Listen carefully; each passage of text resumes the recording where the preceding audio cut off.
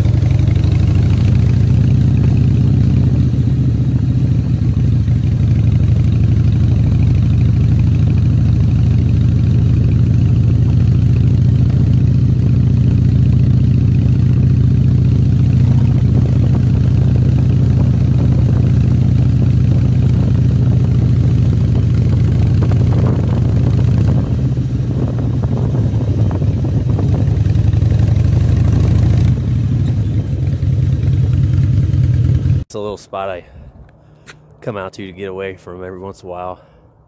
Just get away from everything. It's peaceful out here.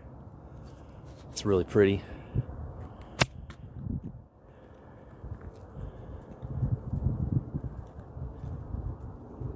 It's a it's an old cemetery. Seems a little creepy probably to some people, but I come out here and just get away and some days when you're having a stressful day, it's nice to just go sit somewhere in peace, nobody around, and uh, just kind of think about whatever's going on in your life and let it go. It's pretty out today. I like riding in the cold, and I always have.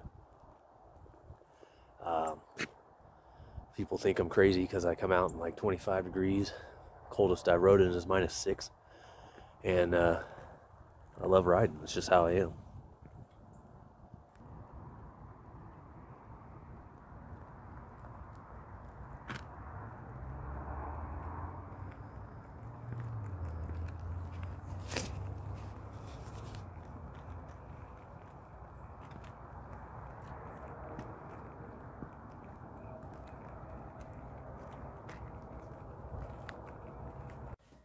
Hey guys, this is Punisher Prime 81 here, on with this same video.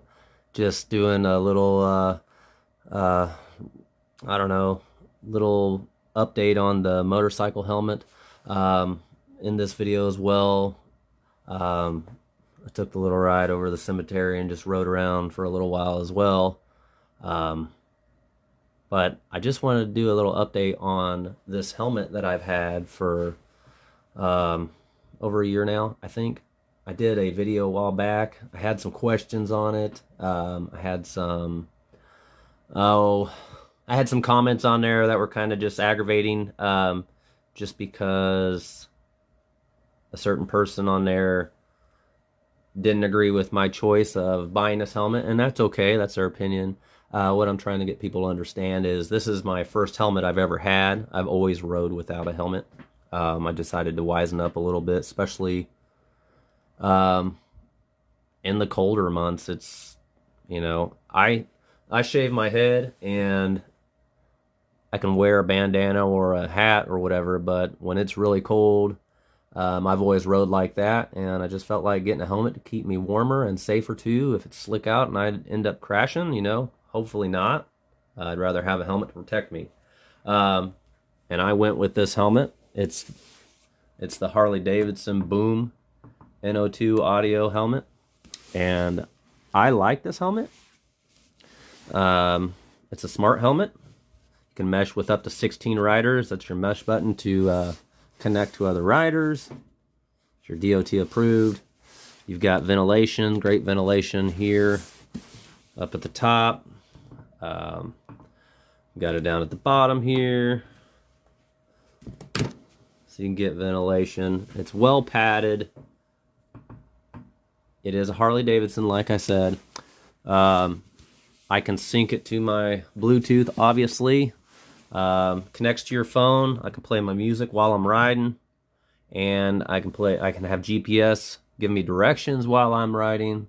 It's really handy. Um, it's nice to have those, um, you know, options at hand. Um, so, me, I enjoy this helmet personally. Um, the only thing that I dislike about this helmet is I wish that it came with two visors, one being tinted and one being clear. Uh, obviously, you need one clear for night.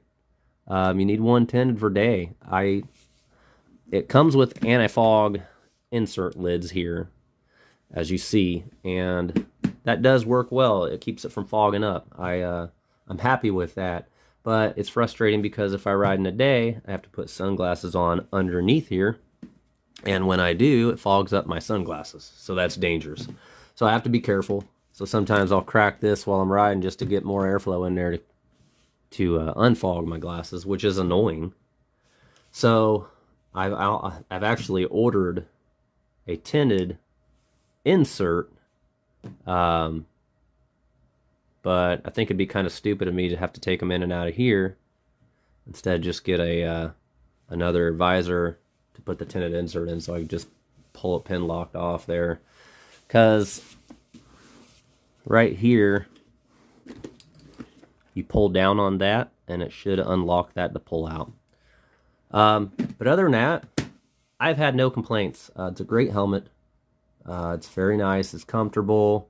Make sure you measure yourself before you order because it's important you don't want to have this helmet wobbling around on your head while you're riding. You want it to be secure um, because it's very important. That way you're not riding and it wobbles and gets in the way of your vision while you're riding. Um, that's just a little quick update on the helmet.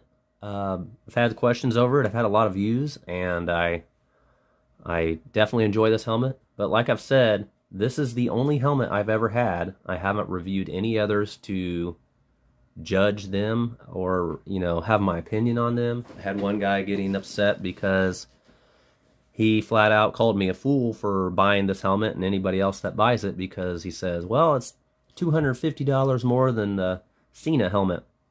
Well, okay, you know, that's I didn't know that. I bought this a while back. It was a helmet I was looking at and I'm happy with it. And he's entitled to his opinion. I didn't feel like it was right to just go out and call people fools um, and I, I flat out told him in the comments, I said, hey, it's the only helmet I've had, only helmet I've reviewed. I'm not here coming at you, so I'd appreciate if you don't come at me that way. Um, all I'm saying is get your facts before you come at people. And that's how I feel about anything in life.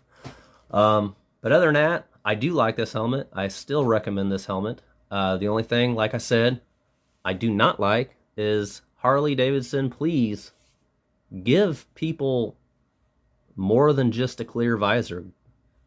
They're spending we're spending a lot of money on this helmet. And yeah, I do think it's high. It is high, but it is a smart helmet.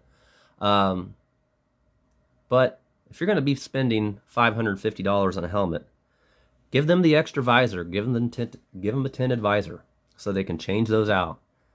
Cuz people shouldn't have to spend extra money to have what they should have already on the helmet. And it's just like the motorcycles. I'm looking to buy a 2019 Street Glide here sometime in the near future.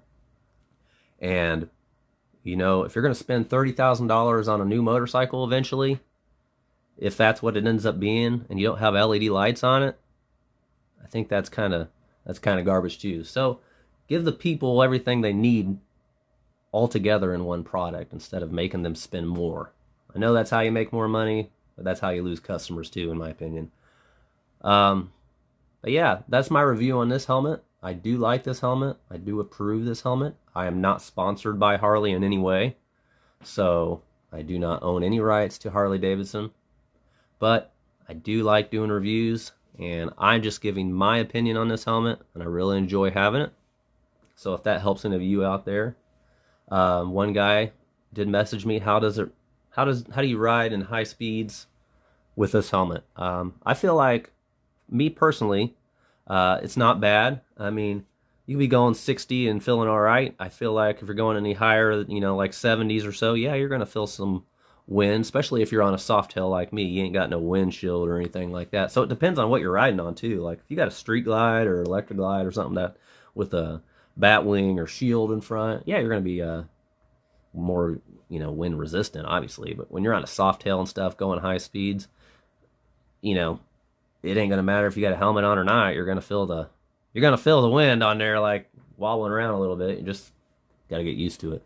Um, but it's not bad. It's doable, and I like it. So hope you guys enjoyed this video. You know, just wanted to talk to you guys, make a short little video, and then update on this helmet as well. Hey, thanks for watching, guys. If you guys like this video, hit that like button.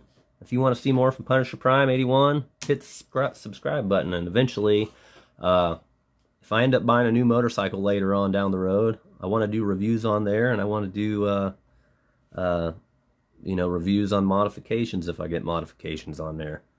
Um, I love doing ball card reviews on my channel and whatever else. Thanks for watching, guys. Have a great day. Bye.